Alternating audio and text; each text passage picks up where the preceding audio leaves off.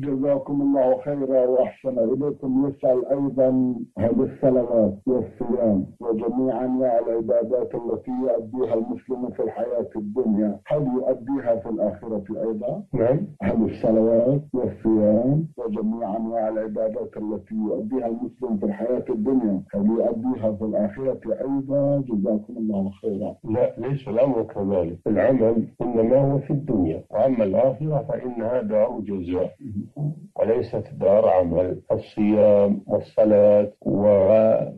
والجهاد في سبيل الله وسائر الأعمال الصالحة إنما هي في الدنيا أما الآخرة فإنها دار جزاء وليست دار عمل نعم.